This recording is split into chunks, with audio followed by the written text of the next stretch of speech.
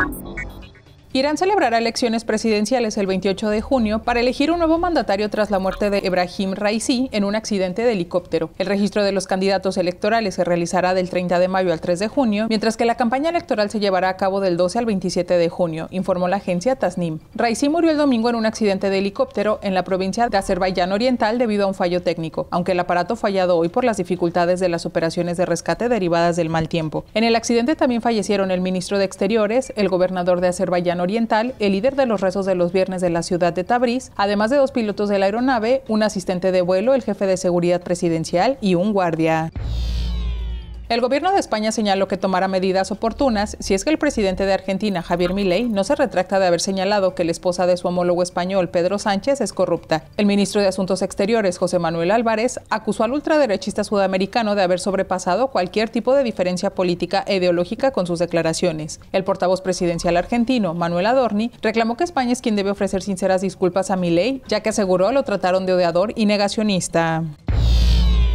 Miles de manifestantes israelíes tomaron este lunes las calles frente al Parlamento en Jerusalén para exigir la dimisión del primer ministro Benjamin Netanyahu y la convocatoria de elecciones anticipadas. Tú eres el líder, eres el culpable, gritaban los manifestantes, muchos llegados desde otras partes del país, para después participar en una caravana lenta que provocó atascos en las entradas de la ciudad. Algunos familiares de los rehenes israelíes en Gaza, que exigen un acuerdo de alto al fuego con el grupo islamista palestino Hamas, que permita liberar a los secuestradores, participaron también en la protesta, que coincide con el retorno a sus labores de los legisladores tras un receso de primavera de seis semanas.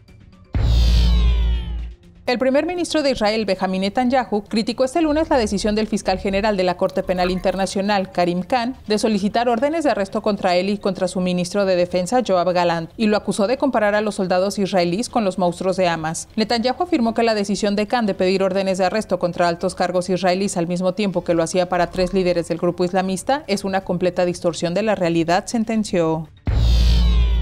El exabogado de Donald Trump, Michael Cohen, admitió este lunes que robó miles de dólares de la compañía del expresidente mientras los abogados de Trump trataron de poner en duda la credibilidad de Cohen en el juicio que se le sigue al exmandatario por acusaciones de que pagó para tapar noticias desfavorables. El histórico juicio se reanudó este lunes con el interrogatorio a Cohen, cuyo testimonio la semana pasada vinculó al expresidente directamente con la trama por la que se le acusa. Los abogados de la defensa ya cuestionaron a Cohen sobre su historial judicial y mentiras pasadas a fin de retratarlo como un mentiroso empedernido que solo busca vengar de Trump.